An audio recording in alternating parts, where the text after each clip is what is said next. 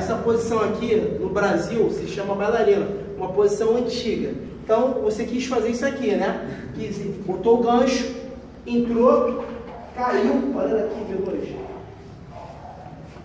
Sendo que quando você caiu aqui, você tinha que ir com a mão de fora, pegar na ponta do pé do cara, o cara já bate. Se você for com a mão de dentro, o cara vai dar o contragolpe, tu vai tomar armlock, eu que bato. Então, o certo era o quê? Você já finalizava o linear, o linear aqui, ó. Rápido, simples, de novo. Grampeou, né?